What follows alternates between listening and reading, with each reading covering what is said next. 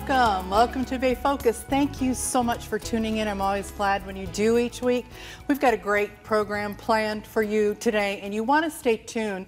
In just a few minutes, we're going to get caught up with Threads of Hope Ministry in Kenya. And what they do is amazing missions work and how they train uh, the people in Kenya um, in sewing, and they have sewing centers around the country, and how they share the gospel. So if you have a heart for missions, you want to stay tuned for that. But before, before we get to Threads of Hope, we're going to take some time today. If you've been watching Bay Focus for probably the last, oh, seven years, even though we've been doing the show for 22, you've met this young woman, Brooke Rathmell, who has been our reporter for the show and out in the community. And we are going to be talking to her today. And can't believe I'm saying this, saying goodbye to her. Brooke, welcome and goodbye. Yeah. it's like welcome and goodbye. Right. No, Uh, I no. I. I just I cannot um, tell you what an incredible impact uh, you've been for this show. Um, but before I get too sentimental, um, I, I do want to tell our viewers that this is just a great opportunity that Brooke has to take the next steps in her life Yes. and work so well with her family and everything that, that God has brought her way. But she has been here for seven years. Can you believe that? I can't believe it. I know, Brooke, tell our viewers how you started. Cause Well, you, yeah. yeah. So I actually was an intern here. Yeah. Uh, when I was like a junior in college, so I was just like 21, and then graduated and got a job offer to come back down to Florida. I'm originally from Maryland, so I flew down here with just a bunch of suitcases, no family, and started working uh, on Bay Focus and a few other things here at CTN. Yeah. And seven years later, you know, I've met my husband here, which is that. just so a great, you know, CTN will have a special place in my heart because of that. Uh, he was an editor and he worked on Bay Focus. Yes, he go on did. remote Yeah. shoots. Yeah. And uh, that grew into a relationship and we married in 2018, which I know we showed photos We from did, that yeah. from that wedding. Um, so it's just been amazing working working at CTN, working on Bay Focus, going out into the community, doing those features. Um, it's definitely a, a you know a really special part of my job here, working on Bay well, Focus. you know, and I, I, Brooke, I saw you.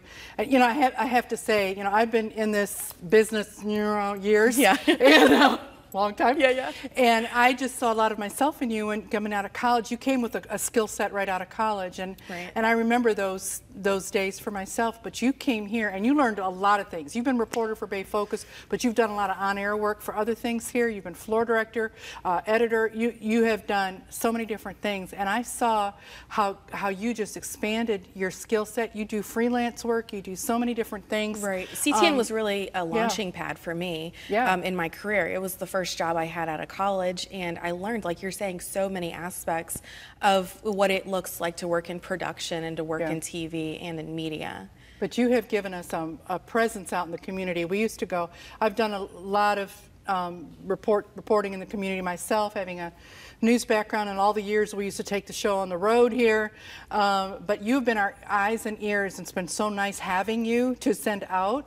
Have there been before we get into this week's, before we get into this your final piece, which I gotta feature. say, you have to stay tuned for this. Is like her best. Oh, ever. you're so kind. touching. It was a great It's so touching of a piece. But have there been some highlights and of, Oh, show, of goodness. pieces that places you've Um, been that Yeah. Um, so let's think.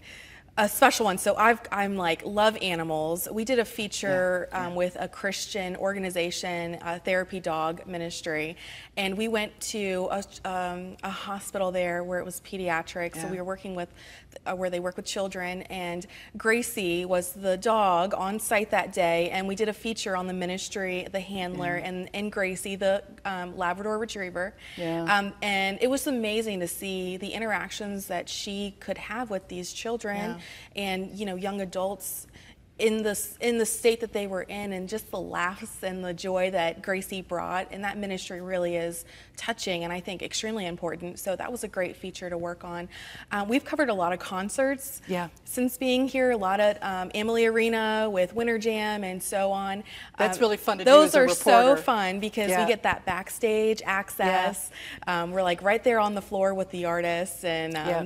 a lot of the camera oper- you know, the videographers that I bring with me, they love going on those Yeah. Because they get that access Oh, yeah. and uh, it's, Well, it's a lot I, of fun. you know, I remembered, and, and then we're going to head to the piece for Yeah. today. But I, you have done the gamut from including featuring uh, ministry and organ, an organization and ministries. I want to say that because Bay Focus tries to partner even with um, community organizations that Right. may not necessarily be a ministry base, Oh, but they but they do great community work and they and they they uh, connect with the faith-based community. But you've done some things that you know kids that, that have options to have a birthday party, Right. Celebrate cancer, birthdays. celebrate Yeah. birthdays, Mhm. The from everything from that to the to the fun pieces. Uh, Clearwater Marine, talk about animals. Clearwater Yes, Marine Clearwater Aquarium. Marina, yeah, there have been winter. over the over the seven years, there have been so many different things. But this set us up for this last one. And before we go to it, Brooke, I just want to say on behalf of all of our, oh no, I think I'm going to Oh, cry.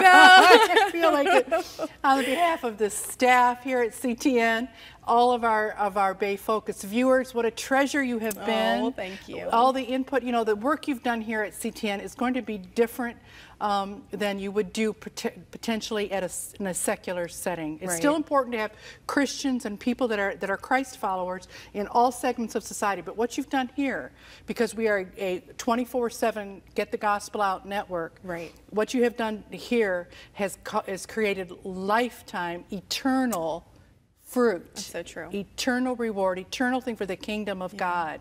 And I, I just want to thank you for that. This will be this this is you've you've made a, a difference here. I appreciate You made a real that. difference. No, that's amazing. Set us up for this piece. It is just wonderful. Oh my goodness. So a local business, the Regent, they got these wedding dresses just out of kind of the whim of, of where they were at, where they received all these wedding gowns, and they decided, let's do something really fun with them. Let's give them away to people that have been excuse me, affected um, the kind of the heroes of this COVID era that we're in right now. So healthcare workers and teachers, and these people have been receiving these wedding gowns. I mean, can you imagine? I know for me, that was a big if fun to have to Yeah. pay for this wedding gown Yeah. and um, for our wedding, and so to be gifted a wedding gown. Um, is just incredible, and to people that really do deserve it. So this piece is featuring Oh, yeah. them and a special teacher that received a wedding a wedding gown recently. Okay, let's take. You want to stay tuned, watch this, and it ends ends so beautifully. Let's take a look. A local business gives away free wedding dresses to healthcare workers and teachers in the Tampa Bay area as a way of saying thank you. It's just like dress up, and it's, but it's a dress up for your biggest day of your life. Shannon Keil, the CEO of The Regent, a wedding and events venue, is a true modern day fairy godmother to these soon to be brides. So it all started about two years ago. Um, I got them from a local boutique called Satin and Lace Bridal. A friend of mine, Allison, she was fixing to donate all these demo dresses, and we are like, "Wait, no, don't just give them away. Let's do something." So he's like, "Who who do we give these to? Who did, who deserves them?" And so we started talking about it, healthcare workers. You know, so the first round of this was nurses and healthcare workers and people that worked in the hospitals in the medical industry, and it went so well. People started donating more dresses, and you know, we started saying, "What are you to do? What are you going to do with it? You know, are to do it again?" Well, who else had to pivot? Who else had to do things differently? And who else is having to function because of the thing going on? You know, this this COVID thing, and so teachers and educators. The nominations started coming in from Hillsborough County educators, and of those selected was Jenna Rose, a fourth grade teacher at Riverview Elementary. This dress means that she gets to marry the man of her dreams, and it's her fairy tale. And we just get to be a little chapter inside of it. You know, this part, I get to wave, the wand, wand, and she gets to sparkle and shine from the head to toe. you know, and so it's one of those great moments. So to see that sparkle and shine and her to be excited just makes me my heart happy and makes me happy to see that happen. It means so much. It makes me feel like I'm so special. Um, and, you know, obviously being a bride, you already feel special. And now that I'm getting a wedding dress, I'm like, oh, this is so cool. oh my gosh. Cinderella, huh?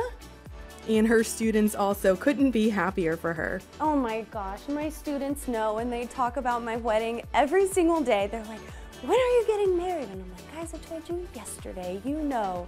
But they are so sweet. Their genuine joy is what makes this process even more fun. But for Jenna, because of a health diagnosis she received at 19, this day may have not even come. I found out that I have what's called um, factor V Leiden, which is a clotting disorder.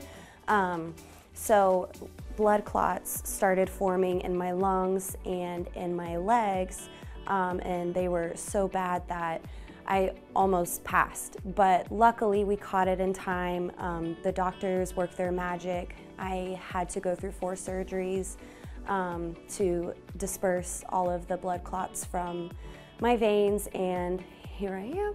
It's amazing. You know, everything happens for a reason, and I'm, I'm so thankful as twisted as it may be, I'm thankful for the blood clots because, you know, if I hadn't had that health condition, I wouldn't have gone to the school that I did on the year that I did and met the man of my dreams. And for Shannon, her desire to give back to the community has become bigger than even she ever imagined. I'm a preacher's kid. And I was always taught you do unto others as you'd have them do unto you. And I knew that God had these steps ordained way before than I could have ever have imagined. And He knew that this was going to be path in the journey I was going to take. And this is just a piece of my story. And I'm so glad that I got to share it with others. And I want people to see what we're doing, just like the dresses that keep coming in because people say, I want to be part, I want to be part. All those pieces and parts are because we lit a little ember and now it's turned into this like brush fire and people want to be part of that. And so all those little pieces, it doesn't matter. Those are that's how we continue this, and that's what we get out of this is others to see it want to do something too. To find out more, visit experiencetheregent.com. Reporting for Bay Focus in Riverview, I'm Brooke Rathmell.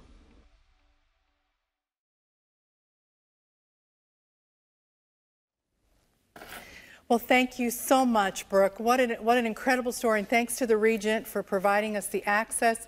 What a heartwarming story.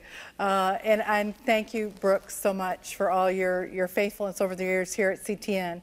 Well, we're going to change directions now and show you a ministry that literally is taking the gospel in unique ways to uttermost parts of the earth in terms of missions work, uh, particularly um, in, the, in Africa that we have highlighted over the years, but there's more locations that they're at too. Um, but we have had on a number of times over the years, and we're going to get updated because it's been a while since we've had Al Barrett, who is the founder of Threads of Hope ministry, and we're going to explain Threads of Hope in just a minute. Al, thank you so much for, for coming back on the show. It's, it's been a few years, and and you know, and you haven't been sitting still. There has been so much you've been doing, but you know, we have some viewers that don't know what Threads of Hope is at all. Please explain what the ministry is. Yes, uh, thank you, Darlene, for having us back on again. It has been a while, and we've. Um, uh, of course, been well aware that God's still at work, no matter uh, yeah. the difficulties we've all been through in the last few years. But uh, it certainly uh, is, uh, has kept us busy. We're a sewing ministry, as you know, but others may not. Uh, it's a uh, it's a way that we equip we equip and train widows and orphans how to sew to earn a living. It started in Africa in 90, 98, and uh, it has grown to 27 countries over the over the years now. We're at 25 years of doing this. Uh, we're based out of, uh, of Florida, Dunedin, uh, where we receive donations of sewing machines, fabrics, threads, and what have you, related materials. And we have various ways of sending them out to places uh, and do the training. So um, it, it, over the last few years, we've had some exciting things happen. Uh, even though that we've been struggling with uh, the conditions that we're in. Yeah, the worldwide well, pandemic. Uh, yeah, it makes it a little tougher. Yeah, yeah. But you know, it just brought to mind. Uh, I used to pray for a salvation for every stitch, and all the sewing machines that we've sent out over the years. I always thought in my mind that that was awful big order for God. You know, yeah, salvation for every stitch. And then when COVID hit, I think every 19,000 of those machines were sewing masks all yeah. of them, everywhere around the world where we, we Yeah, we're going to, in just a few minutes, we're going to see a picture of that yeah. as well. But, yeah. but explain to our viewers too, because you've had, you know, as we've had you on over the years, we've seen different things occur, including um, the build, building and of sewing centers. Tell, tell us where mm. those are. Yeah. It all started in Kenya in 98, and uh, some years later, we managed to, because we've, we've been working in the wilderness, going from village to village throughout Kenya. And, uh, and our heart has been to reach unreached people and to help those churches to, to expand their ministries within those areas. So um, we eventually made better progress by putting a building. We raised funds and we put a building out in Masai Mara and made a sewing center there, uh, a sewing training center. So in, in, in 2013 is when that got built. 14 is when it got opened. So we're in its 10th year now of training in that sewing center. Yeah. And meanwhile, bringing teams to Kenya every year for 20 years, and up to that time, we established other areas to do training in orphanages and other uh, uh, through church facilities. So uh, we've established uh, 11 in Kenya and, and, several over in Uganda, Rwanda, and Tanzania as well. And, and we did the, on those trips, we'd go to those places. Okay, so you are you're not only doing the sewing center, but you're partnering with other ministries right. to train them to get them. Mm-hmm. And one big ministry that you're connected with, explain the connection with Missionary Ventures yeah. International. Yes, we we uh, my wife and I, Gail. By the way, she just retired yeah. from the uh, New Life Solutions for many Life years, pro life ministry. Yeah, and she's quite busy, uh, still yeah. involved in missions and and on a, serving on a couple boards and what have you.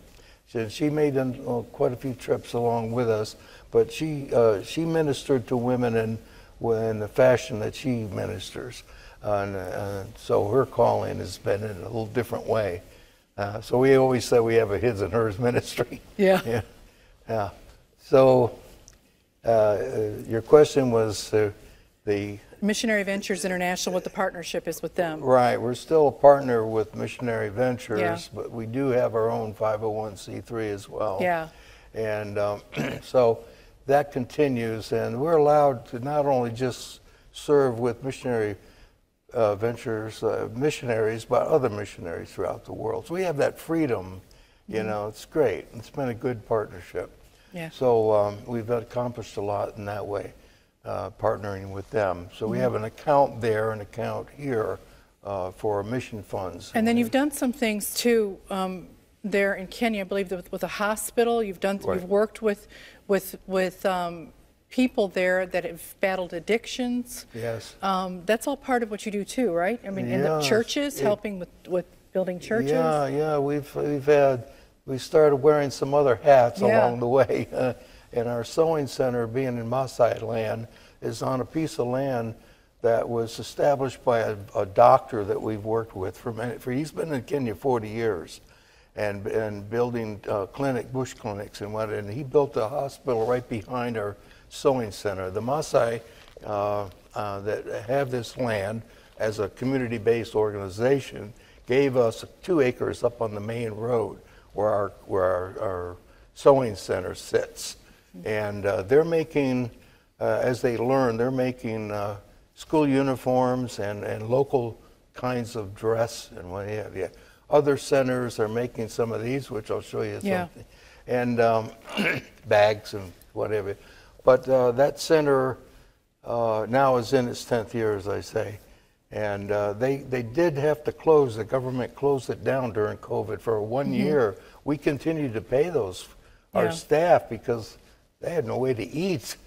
You know, Yeah. we just uh, kept them going. Okay. Um, and that, so I wanted to mention those partnerships. Mm. Yeah. In just a moment, we need to. We're we're going to start going um, a little bit faster pace through the interview now because we have a lot of things we want to show our viewers. Mm. But tell us quickly what's you got to you're trying to get into and you are getting into Cuba. Yes. Tell us about Cuba. Cuba is uh, exciting because the door has opened and closed over the years. We've been opening in Cuba for Yeah. over 20 years.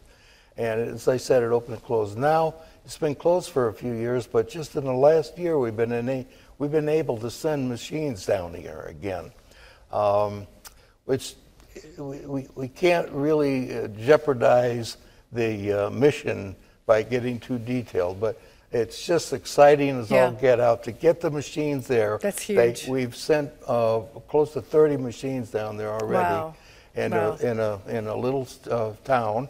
And the, and the pastor in this church has asked me, could he call it Cube, Threads of Hope Cuba? I said, by all means. Oh, wow. So soon, uh, we're, some of our colleagues will be going down there to follow up on this uh, That's, personally. that's just awesome. What a door open. Okay, let's go, let's go to some pictures that you're going to tell us what we're seeing, because this really tells the story of what you're doing. Okay, go ahead, tell us what we're seeing.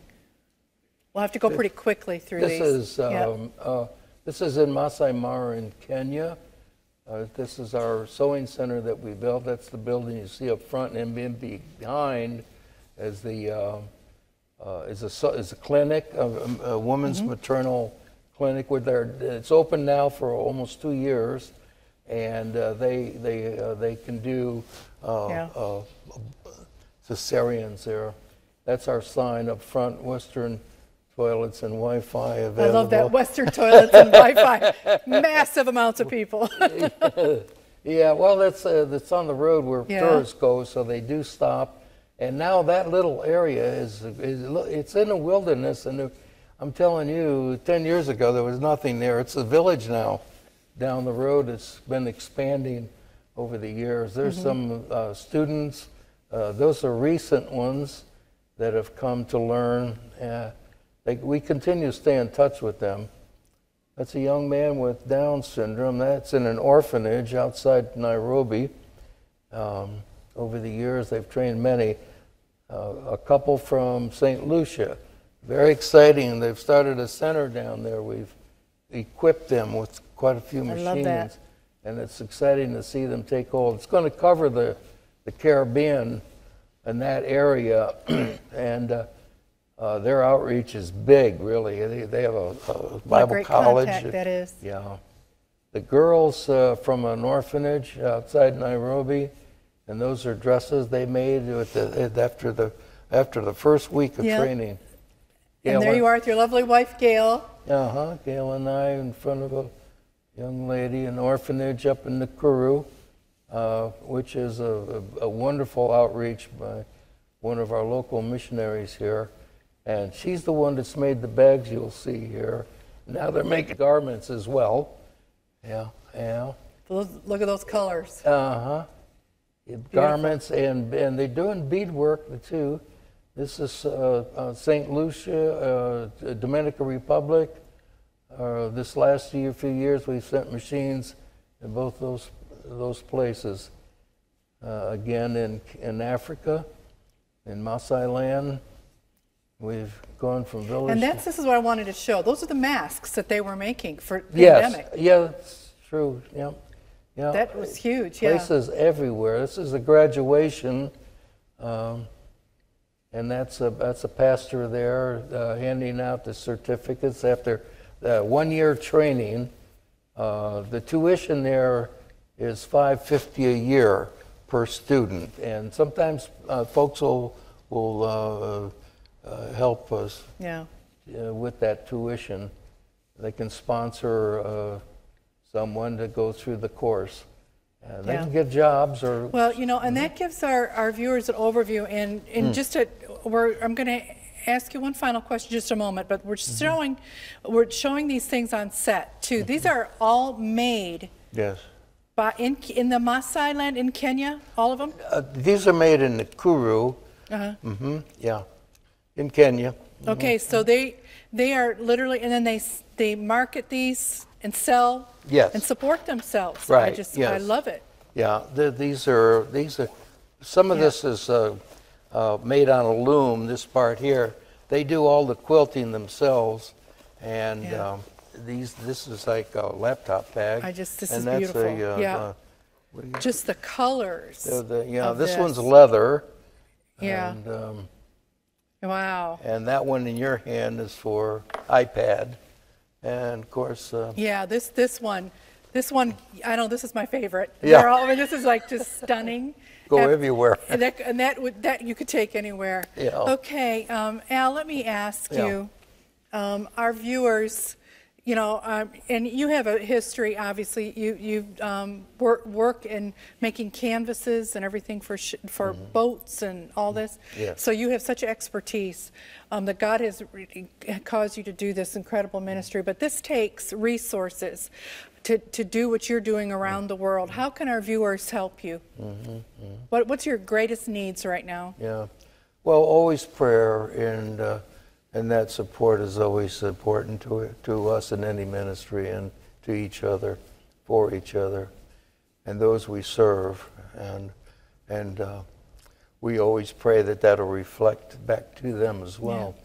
So we need financial support for operations and particularly for, for projects. And like sending machines, it's always costly uh, thing to do. And, uh, and, and some of the projects, we identify those. I don't have particularly numbers for you right now, mm. but if anybody's interested, they could call me and talk about what we got going. Yep. And uh, to be a little more specific with yeah. that, with yeah. them. Now, but just financial donations right now would be mm, big, mm-hmm. right? I mean, that would be mm-hmm. that would help enormously, and they can yeah. give through the Threads of Hope uh, yes, they can give through the website, through Missionary Ventures. We're having a little issue with PayPal right now, but we'll, Yeah. we'll get that uh, straightened So out Missionary pretty soon. Ventures and- and but- But they could run them through that way, And, or uh-huh. they could mail them to our address that's on the uh, okay. website. And we're going to end on that note. Al, thank you so Oh. much. Uh, This has been just to get caught up to see what God is doing. Uh, You have not slowed down one, one bit, not a bit. God- God Um, still Yeah, and stay tuned on the screen. You're going to see again how you can contact Threads of Hope and how you can uh, donate to, uh, to what they're doing as well and find out more about the items that they're, they're also making. And, and stay tuned. We'll be right back with more Bay Focus.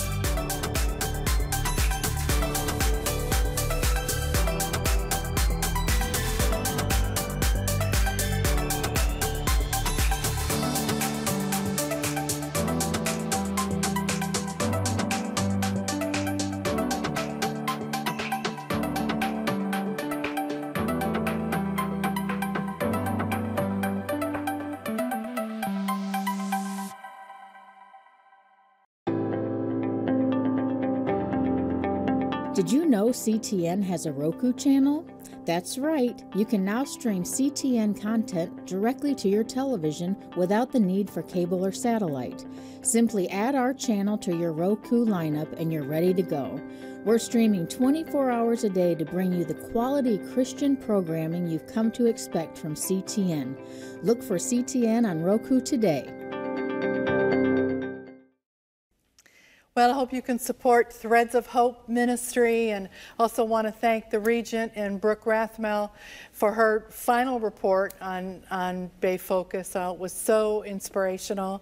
Um, and thank you for tuning in each week. Keep me up to date on what's going on in the Tampa Bay, Central Florida area. Check in with us on social media. I'd love to hear from you. And we will see you next week. May God richly, richly bless you.